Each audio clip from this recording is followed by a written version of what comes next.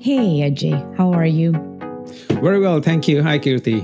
Welcome to my podcast. I'm very happy to have you on. I've been working towards getting someone who understands more about productivity, stress awareness, and mental men's mental health. And I thought about you. So thank you for coming. How Thank you, you very much for having me. Thank you very much. Yeah, looking forward to it. So if I have to ask you to share men's mental health, is that something that is worth talking about? What do you think? We can talk about it because it's one of the most hidden thing you will ever come across. The Man, most hidden thing, hidden. Nobody talks about it because uh, it's been proven and mm-hmm. there have been many studies that have found that men are 50% less likely to share their struggles with others compared to women. Run that run that statistic by me again. It, okay, it has been researched mm-hmm. that men are 50% less likely to share their struggles with others compared to women. I wanted to hear and make sure I heard that correctly. 50% is a high number. Yeah, they're 50% less likely. So if, let's say, a girl goes and tells you 10 things, which are like struggles in her life, mm-hmm. oh, I will come and tell you only five of those. It's like that. Why? Why? Because of the social stigma, because of the expectation from men that society has put, because men are the problem solvers, because boys don't cry, because everybody wants to be a man. Those are the some, you know, very high level reasons to why men don't share. And as a result, if you look into the suicide data, mm-hmm. When men try to commit suicide, they are three times more likely to die compared to women. So, what it says is that when they mm-hmm. try it, they try it to make it happen, right? So, the situation gets so worse for them because they don't share, they just keep everything in themselves and always showing you that happy face. Mm-hmm. But when they erupt inside, it is like only one way so very sad statistics to start the interview but yeah there no i mean it's it's great to start this interview because i did not expect you to tell me 50% that's one. And then you're telling me that when they when somebody's determined to commit the end of their life they will make sure. And that is a it's a very alarming determination to have. I do see men on the male gender online promoting mental health. But if all that mental health is being promoted, still 50% is a high number. Why, with all that is being done about it, why is it not reducing that number? Changing somebody's mindset is a really long process the social norms that, for example, everybody wants to go and do studies. And you will be surprised the education that we currently have, like going to a, an engineering degree or something like that, is very new. But it is around 100 year, years old. So, comparatively new in the human evolution. But now that has taken 100 years to establish, mm-hmm. even though right now the needs of uh, engineers or you know the kind of things that industrial age needed that the age needed those kind of skills mm-hmm. may not be needed now but the education is not moving with the pace the science is moving.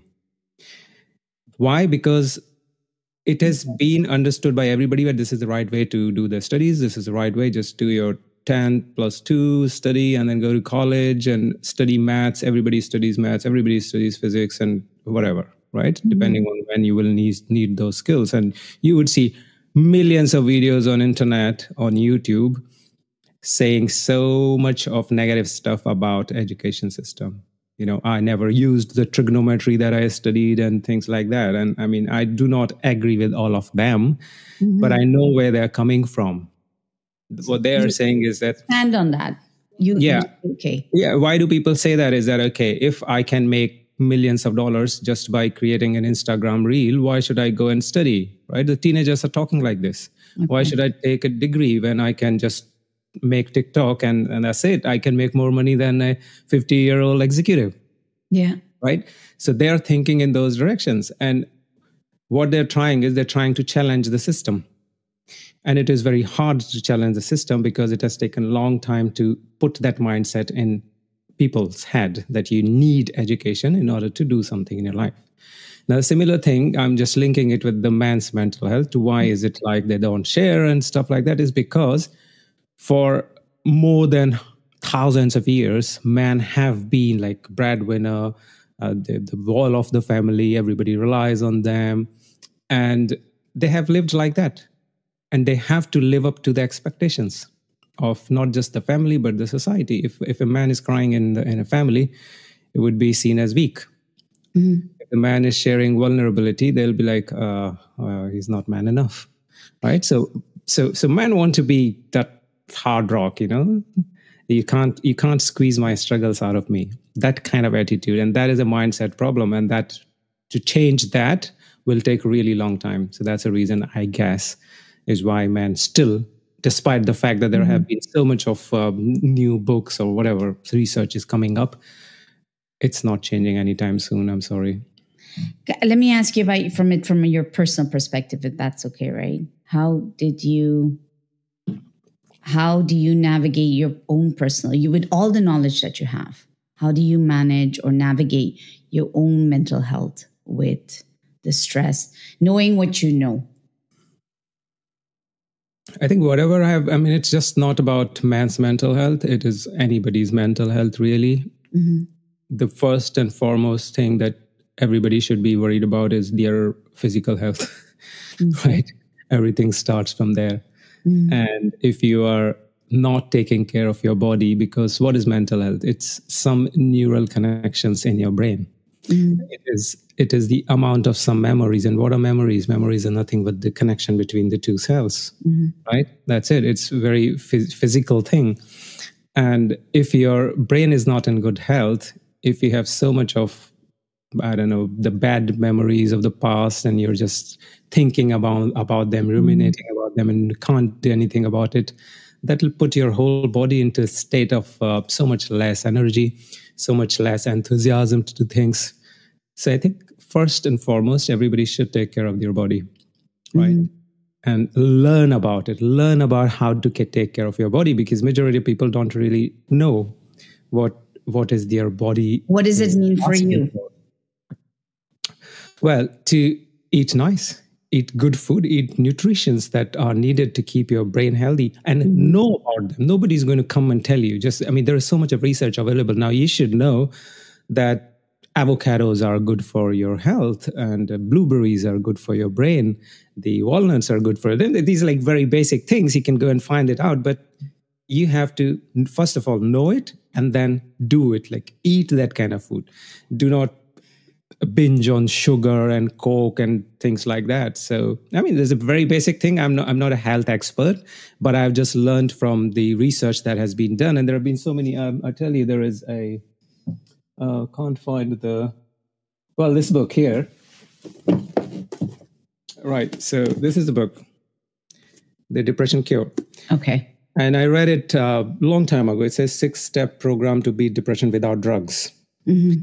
okay and it's been like around seven years ago i read it. And i still remember there are a few things that are told in this book. Do you one apply them, them? Oh one of them is i have been using it for so long is about the fish oil right? Okay. Again, this is not a health a health podcast. And I'm no, no, you're sharing your. I, I, want to hear your experience. But, but, a lot of people will go to Holland and Barrett and uh, Amazon and get fish capsules, mm-hmm. right? They think that oh, it's good. It's good for your heart. It's good for your overall um, nervous system and maybe for your brain also. But not many people know that fish oil could be not that beneficial also because you can get it very cheap, like four pounds, five pounds in Holland Barrett, and get like 120 of those pills. Yeah. It's so cheap. What is going going on here? Some fish capsules are five pounds, some are 50 pounds. What's mm-hmm. the difference? Right. And what I learned from this book, there are three three main um, fish oil capsule has three main components, uh, mm-hmm. if you want to call it. One is EPA, one is DHA, and one is ALA. Yeah. So ALA being the cheapest, and mm-hmm. EPA being the most expensive because if your supplement has a lot of EPA, mm-hmm. and some DHA and very little ALA, it's going to be very expensive. You can check on Amazon when you go to the bottle, try to read how much of EPA in that. And EPA is actually very beneficial for your brain in terms of your keeping your mood up. Mm-hmm. And that's what I learned from this book. and I've seen that it, it works and it's amazing. It's really amazing. There are only a couple of brands who make it. Uh, and yeah, so. So you use fish oil, but I have to go back to one thing. Um, because I've I've I used to, um, uh, well, I still do in that way. I teach yoga from a very Eastern perspective. And I say Eastern perspective because the West is very focused on their physical attributes, on their physical body. But I noticed that, and when I was teaching also, with all that physicality, technically, with all the data that there's there, technically the number of anxiety should go down or depression should go down, right?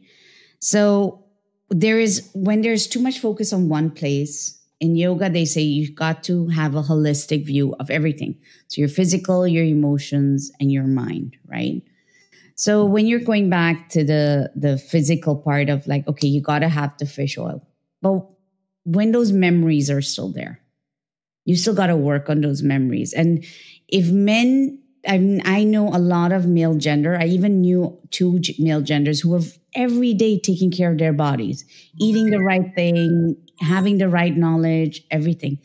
But at 45, ended up passing away. And the reason, again, it goes back to the whole idea of not being able to manage the stress. So, is it physical first, or doesn't it have to go hand in hand? Because there's not again it's not so much spoken about about the mental side of stuff i feel okay the reason i said physical first is that you you should be able to sit if you want to do meditation right? yeah of course and and i love meditation mm-hmm. and I, I have tried plenty of different types of meditation to find out which one works for me mm-hmm.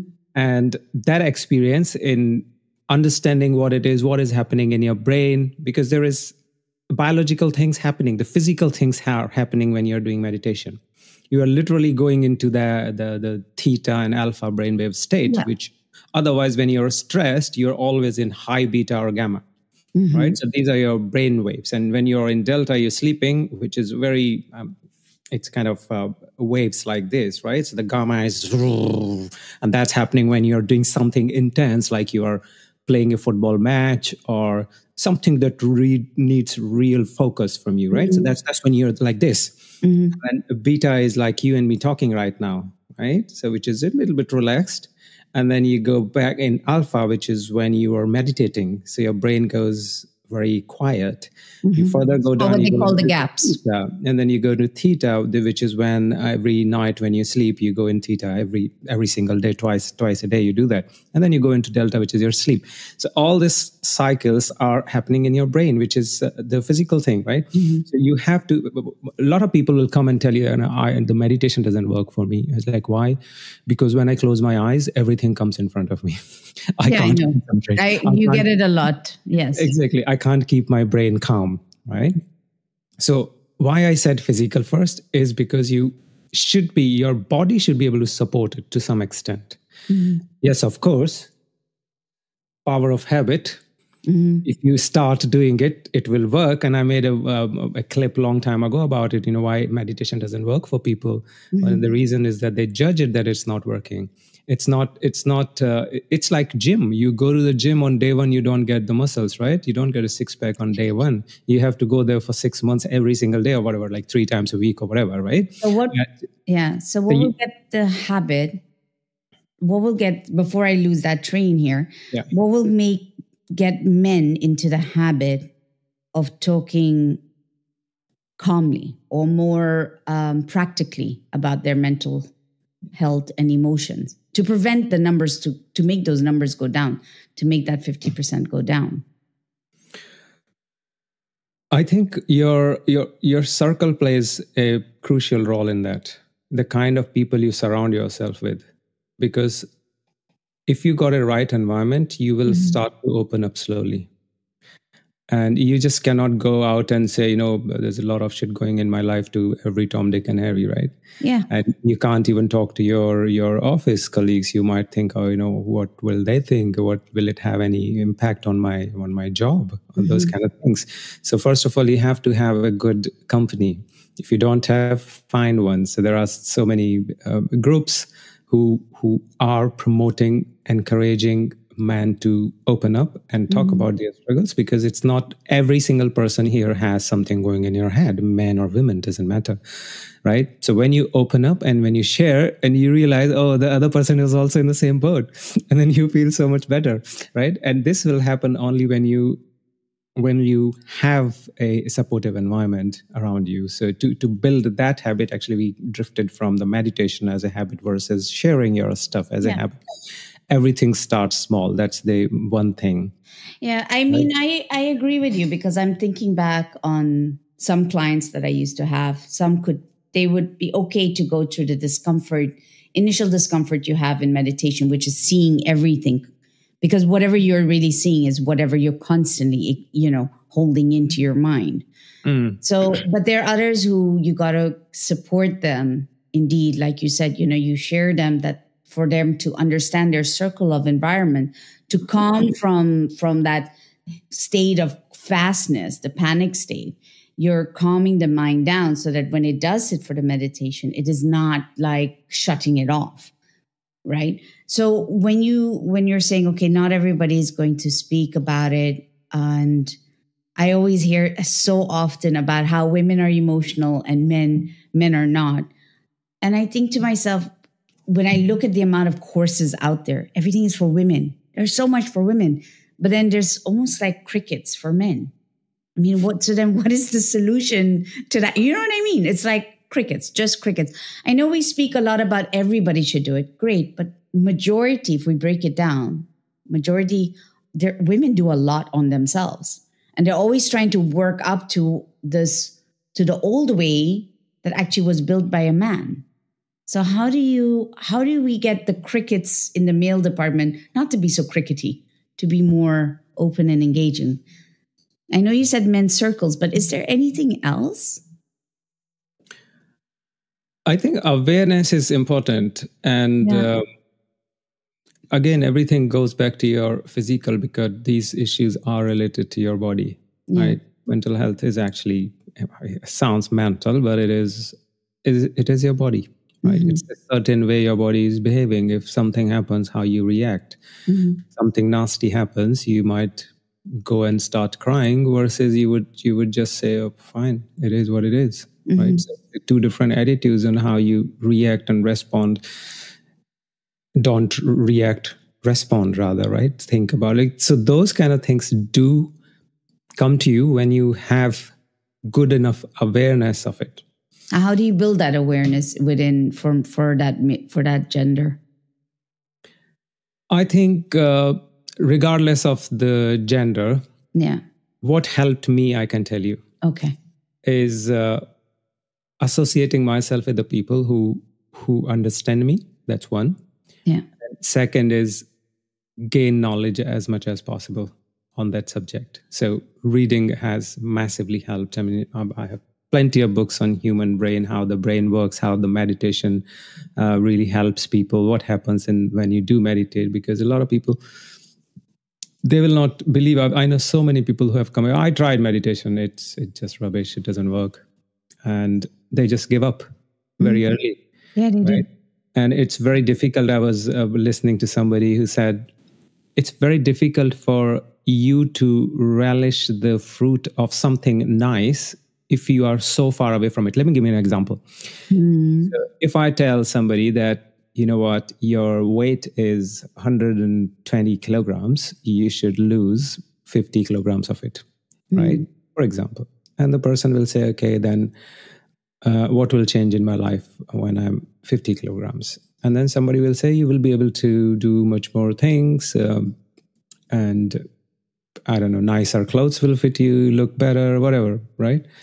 And if that person is so much into that being 120 zone, he loves watching Netflix on sofa and then when you say you know you will be able to go out and enjoy nature etc he probably will think you know what's the point in going out and enjoying the nature i'm actually enjoying my netflix show right mm-hmm. and, and, if losing weight is snatching that netflix mm-hmm. fruit from me why should i do that the problem here is that that person is not able to see what what it is like to be at that ideal weight mm-hmm. just one example right it's there are a lot of things that we say what is liberation right? In in in all religious stuff you say everybody wants liberation. What is liberation? Okay mm-hmm. liberation is something that you don't have to worry about it nothing no relationships and you're just perfect. And you're like why? You know i like my my my snacks i like my coffee. Why do i want to liberate Mm-hmm. I mean, I've thought about it. Everybody talks about mukti, you know, liberation. The Gita talks a lot about it. Krishnamurti, Krishnamurti, um, I like how he explains stuff. I really, really like it because he's very practical. And he reminds, and he was the first one that reminded me liberation is about not getting too stuck on your outer world. You can have your outer world, outer world is happening, but you're not really getting stuck to it, right? So I know you said sharing, I go back to this thing. You said one thing that helped you a lot was circle, having a really nice circle of friends. And then the second thing is like, how do you move the person away from that one, that 120 thinking? So the idea of liberation would be to not get so stuck on that Netflix, is what I gather, right? And when you, there's something you do, and I like how you really speak up so much about it, is about the idea of productivity, but you've redefined it in some ways. I've seen you share it in so many ways where it is useful towards stress management. How do you do that? See, if you keep your brain busy, your brain will have less thing to think about. Okay. Right? Yeah. And so productivity is it's a, it's a vast area, another vast area. But let's say how we can link that with uh, your overall mental health. I think one thing that has helped me at least is of keeping my mind so busy that I don't have time to think about the, the rubbish stuff. Well, when you say busy, what does that? What is your definition of it? So keep keep your okay. So let's go to the biology again. Okay. Right? So every time you learn something, mm-hmm. there is a connection built in your brain mm-hmm. between your neurons, right? Mm-hmm. Every memory is nothing but a physical connection or electromagnetic, whatever, like the brain waves, etc. Uh, um, I'm not a neuroscientist, but yeah, that's very high. Yeah. Let's, let's, let's say, say it like this. So everything that you're learning is creating something in your brain. It's, it's mm-hmm. creating things. And if it is something new, then you're creating new neural pathways and they will help you think in a different way. Mm-hmm. Right? So you can learn a lot of things from anything. That's what I believe. And I did a I did a you learn a lot of things from anything. From anything. I like that. Yeah. Okay. And I I did a workshop uh, about there's a lot of people came and, and we don't know what to talk about. They don't know what is um, what should be their topic. I was like, well, there are millions of topics. You know, you can talk about anything.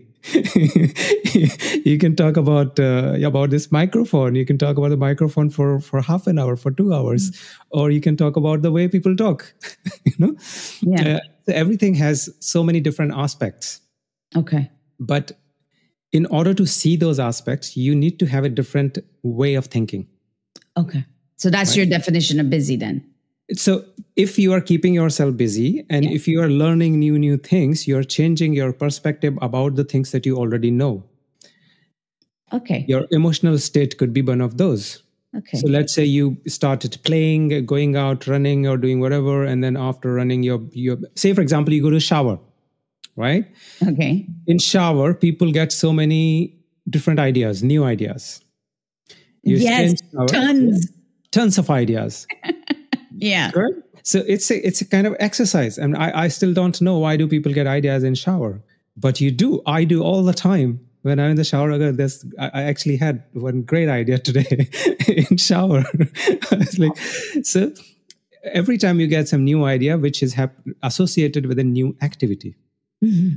right? So you might so, and that will give you a new way of thinking. I don't know. I'm not able to really articulate it properly, but what I'm trying to say is that if you keep your mind busy and if you keep learning new things and implement those new things, they will not just take your focus from the the the, the dark side of your brain, mm-hmm. then take it to something new because we all want to create and creation gives you so much of satisfaction that all the pain that you had in the dark side of your brain will diminish slowly yeah. as in when you move into something more creative something creating something right? So every time you you you you plant a seed mm-hmm. and when the when when it blooms and the flowers come you feel happy because you created something although it happened naturally right? Yeah. but you became part of the process. So and, it sounds, sounds to me is like you're talking about mastering. You know people talk about masters but people think masters are like like some elevated but mastering is people who have mastered something so it sounds to me that what you're saying, the, your definition of busy is like you said, okay, this is dark, but if I master slowly the product productively out of it, I move towards not, you know, not being focused on it as negative, but then it has like a bloom or flower. Or have I got this wrong? So it's it's not about mastering. Um, okay. To be honest, being busy is about keeping your brain active really that's pretty much it is. Because if you keep thinking about something if you're not if you don't have anything to do your mm-hmm. brain will tend to think about what it has already in there right? But then so that's also like, busy right? Isn't it ajay? If yeah but it, it's busy in the dark side. Yeah. So, right? and then, and so busy what i'm trying to get at is busy can also be like i have friends who keep telling me i'm busy i'm busy i'm busy.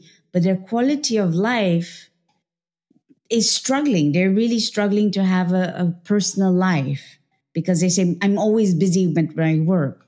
So that's why I'm asking, I'm trying to really understand what, what you mean by busy. The reason I said being busy is yeah. to keep yourself active into something more fruitful. Okay.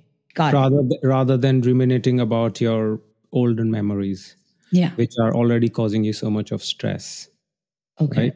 So so for example you you have some stressful moment happened. Let's say a couple of some bereavement happened to somebody for example mm. right?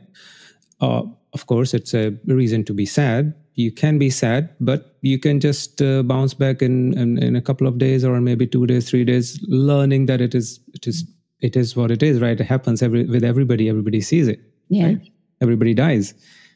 It's up to you. Do you want to stay in that zone for 12 days a month because there are some people who don't come out of the bereavements for years yeah right yeah. versus some people who i've interviewed someone mm-hmm. who had a death and the next day they were at work and you know about uh, some cricketers in india you know, sachin tendulkar mm-hmm. and virat kohli they had their their father passed away and they were playing matches somewhere outside India and they continued playing and they finished it and then they came even though they kind of knew that this has happened. Mm-hmm. So it, it, it, depends on how quickly you want to bounce back from those memories. So what I'm saying is that being busy is to keep yourself uh, into the activities which are uh, helping you, yeah. keeping your brain healthier rather than just pulling you down into that uh, downward spiral of, of sadness and depression and um, yeah, those things. But Ajay, so I'm, you know, that 50% really took me by complete surprise. and so I'm like, okay. But there's that thing, you know, sometimes we also use productivity as a way not to process our emotions, right?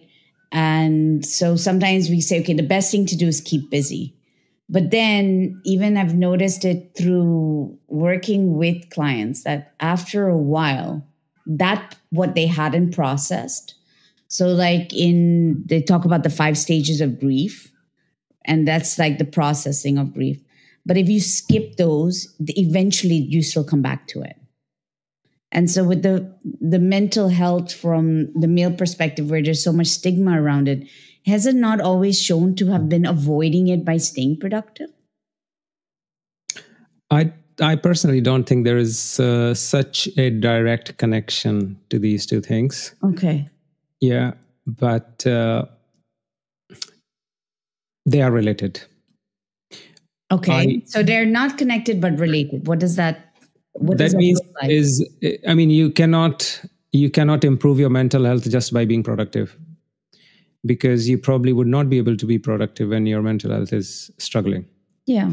you will struggle to be productive right Yeah. that's what people face Mhm. but how they're related is that if you if your overall lifestyle is such that that you're always keeping yourself busy and doing things and being productive then your mind will be so much uh, spongy not spongy so much um, Well, I like that word spongy though, because it makes it feel like it's as long as Yeah. it's not too dry or too too too like just take up take up those kind of you know anything uh, depressive that is coming Yeah. up. And you can squeeze it out. exactly. If your brain's health is better which mm-hmm. being productive does that's what i think right? So that's how they're related. If your overall way of living is in certain way mm-hmm. yeah like it's like if if a car is running i don't know 100 100 miles an hour mm-hmm. and if it hits a bird you probably wouldn't even realize yeah just the bird came and you, you didn't even see it. It just happened right? Versus if you're let's say going very slow on a bicycle and and and, a pigeon comes in front of you you will probably fall right? I don't know. It's just a weird example just came in my I'm head it- can I ask you a personal, more personal question? How did you must have faced moments where emotions must have been very conflicting or high? We all, I would say, go through it at some point. How did you navigate it? uh, as in instantly or or at the long term? Applying applying the way you're sharing it. How have you used that? And how has that looked like in the so what has helped i tell you i mean it's like first time i'm telling it in a public place. I used to get angry okay with it. long time ago. I used to get angry. And when i used to get angry i used to harm something uh, which i have owned for example i'll throw my stuff right break my phone or something like that right and i realize that i'm, I'm kind of uh, losing some stuff you know financial thing losses what has helped is meditation has helped massively Mm-hmm. because the the way I can absorb what is going around me has improved drastically. It's very difficult for someone to spike me now as of today. yeah It was probably easier 10 years back. And what has helped is to be in present and think and it's very difficult to do it when somebody is just being nasty to you you just want to react Mhm. right so although there there are some limits like if somebody's slapping you probably would slap them back or whatever. I don't believe in gandhi's philosophy of you know give another cheek for another slap. But Yeah. but let's not go to that side of it. But if somebody's saying something not nice to you it's it's it's their problem because there is a book. I don't know if i have it. Um i actually have it. Oh it's here. You can heal heal your life. Yeah by louise hay yeah so this is phenomenal book yeah. great book and in this book they say hurt people hurt people. Yes. So if somebody is uh, saying something really bad there's something wrong with them. Rather than being angry on them we should bless them you know. I know you're not well so get well yeah. So that, that actually in in the moment it helps. Yeah. But in the long run it and in the long run not but and in the long run yeah. it will, you will see that it has changed you overall. Because the, the small things are not even bothering you anymore. Yeah. You're just chilled monk. The the the path of um i always think about the buddhist lineage when they talk about the path of loving kindness. Mm. you meet you meet your what they call the demon your inner demon your inner monster you meet it. But rather than just um you know be aggressive with it you invite it for tea as as buddha did for mara you know Mm. so which it's in Louise Hay's phrase always reminds me of that hurt people hurt people. And believe it or not, I had that same anger as you did. I used to just, you know, the rage is so intense that you didn't know how to park it all those years ago. So I can relate to that totally. And how long did you find that you, I mean, was it easy going for you to go for meditation or were you also resistant to it at first? Or were you did your culture have anything to do with it? So I, I, I kind of knew about yoga as in like exercise yoga thing right? Yeah. so the physical exercise which is kind of very popular in this country yes. um, also. The meditation side i experimented a lot. I would say i spent okay. around we can say four or five years even more to to try different types of meditation and now I've kind of understood the science behind it. What is mm-hmm. happening in your brain and yeah. why is it helping you? Why are you feeling better after meditation? So I've learned a lot about it by by reading and watching stuff. And nowadays you have like so much of information available on YouTube or any on internet. Um, so that has helped. But it's a slow practice, slow process. Yes. It's sustainable, I call you, it. You want if you're sitting for 10 minutes and you couldn't concentrate even for one second and you say that oh this shit isn't working for me it's not for me and you just give up then you will never get it right? So maybe on day one you you concentrate or you just don't think about anything for one second right? Next day it might be two and the day after it might be three and four and five or whatever right? So they, gradually you will be able to control uh-huh. that's your style of productivity then because every day you do this little habit. Small little changes, right? Yeah. It's an Atomic Habit, the book by James Clear. Yeah, uh, and it so that's how you did your meditation. That's how I started because I couldn't do it myself. Like uh, if I'm sitting for ten minutes, I will. Mm-hmm. My brain will be everywhere, and uh, one thing to learn it easy is to understand your physique, understand your your your body. Sorry, right? And how that can help is if you use hypnotism to get into meditative state, you mm-hmm. will so fast. And uh, in hypnot when they hypnotize you, they will just tell you, you know, close your eyes uh, and focus on the stress that you're having on your forehead. And then you all of it, all of a sudden, your focus goes into your forehead, and you realize that you actually have some stress here. And then they say, release that. Mm-hmm. So you mm-hmm you're mindfully releasing that part of your body. And then yeah. they will go one step down one inch down. They say oh look at your eyes. Your eyelids are there. Is there any stress on your eyelids? Just release it. And you release that. They release your cheeks stress on your cheeks and da da da da on your lips. And you know just uh, go look at your neck. Is there any stiffness in your neck? If you're feeling just relax. So hypnotism when they do it it feels like oh nonsense. Just relax relax relax. They say 100 times relax in one one exercise but the end of the end of it you realize that you have actually relaxed a lot even though by the time you reached your feet your mm-hmm. your head is again stressed like mm-hmm. it was before but you still have let's say in in your first sitting you had 10% of relaxation yeah right they call it shavasana in yoga oh, I don't know. So the next time when you do it, you will have more and more and more. So I think hypnotism helps because yeah. it it connects your your physical response uh, with your brain's thinking. Yeah. It's Shavasana. And have you heard of her? Oh, Shavasana. I know Shavasana. Shavasana yeah. Yeah. You, well, I sleep in Shavasana. So Shavasana is like you lie down on the floor. Right?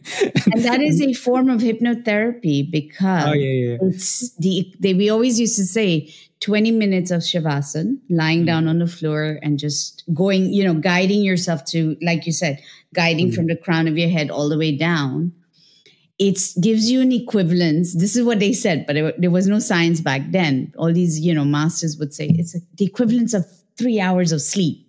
And you go, yeah, yeah, that's good. And then in Spain, they do a siesta. They do take the time to rest in, in between. I think the problem with Shavasana is that majority of people i mean i've seen it in so many meditation yeah. retreats and uh, after four minutes you will start like people started snoring but that's okay it happens yes it, it does. does happen so so the the the, the great place uh-huh. to be in the theta brainwave state if you can theta okay. and alpha you know between alpha and theta and those are the relaxed state of your mind and that's where your brain is at the most creativity it's i don't know was it um, Alexander Graham Bell or Einstein or I don't know which person it was. Different yeah. different sources tell you that Einstein did it or Graham Bell did it or whoever did it um, or Edison did it. Is that they had a ball in their hand and they sit on the chair and take a nap, right? And then they just keep the ball hanging in your hand. Okay. And the minute they lose control of the hand and the ball falls, Yeah. They wake up and then they start thinking what is going on in their head because at that state they are in theta. Because otherwise you wouldn't realize when you're in theta, right? Okay. So you come to theta and you sleep. Right? That's what happens. You when you're sleeping in the night every night, you can never tell me the exact time you fell asleep. Nobody can. Nobody can. You can I- only tell I went to bed at nine o'clock and then I slept. Oh, oh how many time? How, ma- how many hours you were thinking, or you know, when did you exactly slept? Nobody knows.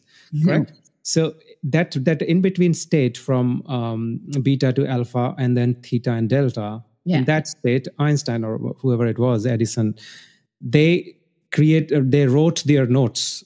So they Mm-hmm. were when they are in that state, they know it because the ball uh, dropped and made sound, and that sound wake them up. And that Mm-hmm. time they were in theta and alpha brainwave state, so they're just writing their notes and things like that. They did some creative stuff like that. So I'm so- going to try that. yeah, try it. yeah, cool tip. so that the, because the challenge is once you are in theta you will go in delta very quickly and you wouldn't even realize it and you will sleep there are lots of things about it there is something called um, lucid dreaming i have a book on that Yeah. also and i don't know which shelf it is in but um, uh, lucid dreaming is about um, knowing in your dream that you're dreaming Knowing in your dream that you're dreaming. Yes, I've and, heard di- that. and and directing your dream Yeah. yeah Have So you been able to direct your dream? i've done that i've I, i've been able to do lucid dreaming Really? not every day but i've when i uh, intentionally try it I, i've Mm-hmm. done it a few times it's like you know that movie um leonardo dicaprio's movie where they have dreams and which one? Is it Inception? inception yes. Yeah. uh, so that movie is kind of on the same concept but it's a real concept. You can do it. You can, and you can have dream inside dream and then you can have a dream inside that dream. That's what that movie is Okay. it's, it's a really good book. Uh, it's a guy uh, i've even met the met the person who has written it um, he's a Well, guy what we'll do is when you find it, I'd be happy to put it in the resources. yeah yeah yeah By the way, we're hitting towards the end of the podcast. I'm, I'm, I learned so much. I feel like there's so much to cover when it comes to this. And I like, if I had to summarize what I took away from you, from conversation with you, and I always take this away from you, is that you make, you break it down. You, you do. You are, to me, still my productivity guru. I still think of it, but I like how you break it down. You know, those little steps like putting the ball, um, the one second to the five second, changing that mental state of mind. Is there any place where more people can find information from you? Because I know maybe you do you do any stuff besides this? So I do a lot of interviews. and Okay. I've not done in the last month, but I have some coming up uh, in the next couple of weeks. I'm reading some books of those authors, and most of the people I interview have written something, uh, especially books. Yeah. And whoever have been on my podcast, I've read their books. And I have around uh, 90, 90 or 85 different interviews. And I think that's one resource. And it's not always on the same topic, but they are related. So most of the interviews that I have are on personal development space, especially on productivity, public speaking, and and the neuroscience of your brain. Perfect. Um, so I think it's a good good source. It's not my wisdom per se, but it's my guest who is sharing what they have researched. So Maybe I'm nudging you because it'd be really great to have your system. yeah, so it's a good good place to to check out the kind of things that um, I'm learning. Really, But thank you, Ajay. I really enjoyed that you shared so much. You shared your personal side of it as well, which I appreciate. And I'm looking forward. I'm curious what the audience will think about it. Yeah, sure. Thank you for coming today. Thank you very much for having me, Kirti. Thanks a lot.